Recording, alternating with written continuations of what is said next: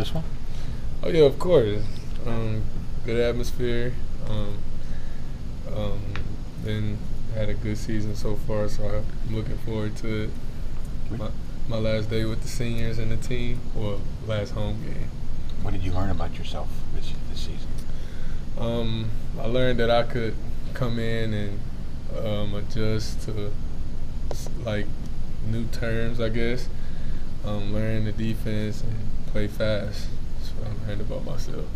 Who do you credit most of your success this year to? Um, my teammates, my, the players that I'm surrounded by, and the coaches as well, because they really did a good job with helping me learn it throughout through the, throughout this process. But mainly my teammates, though. What's uh, playing for Randy Bates like? Um, it's, it's actually fun. Um, he brings a lot of energy. I feel like you can be comfortable around him, and with me, when I'm more comfortable with, and when I'm c- comfortable, I feel like I play better when I'm around that. So. What's been what's the biggest difference that you've noticed about the Pittsburgh program compared to the one you came from? Um, the biggest difference, I, I mean, I can't really compare. I mean, I've, I've, I've always been around good players, good people.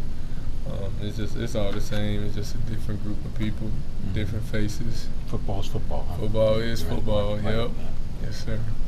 Uh, Talking about Boston College, I mean, you, you guys see a lot of spread teams in this league, but I mean, they come and come at you with a power running game. I mean, what's it like playing against that? Um, I feel like um, we did a good job stopping the run all season. I feel like they going they are going to come in and run the ball. I feel like we've been defending the run all season. Um, I don't I don't feel like that's the difference. It's just the way they line up. And either way, the running back got to get the ball. What's uh, AJ Dillon like? What'd you see out of him on film? I think he, he's a good back.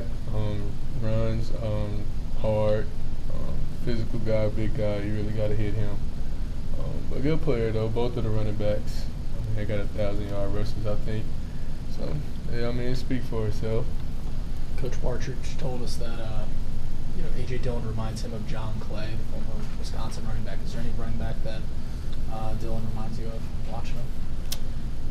Um, I played against some big backs in my life. Uh, remind me of a sort of kind of um, uh, I can't I can't think right now. One, the guy at uh, Georgia who plays for the Browns. Chubb. Chubb. Yeah, Nick Nick Chubb. Chubb. Yeah, Chubb. big dude can run. They they kind of similar to me uh, as far as the backs I've seen uh, in my college career. Who are some of the young guys who were?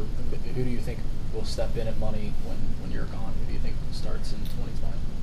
Um, I mean, I feel like the position up for grabs. Um, young guys that just got to come in and comp- compete for it.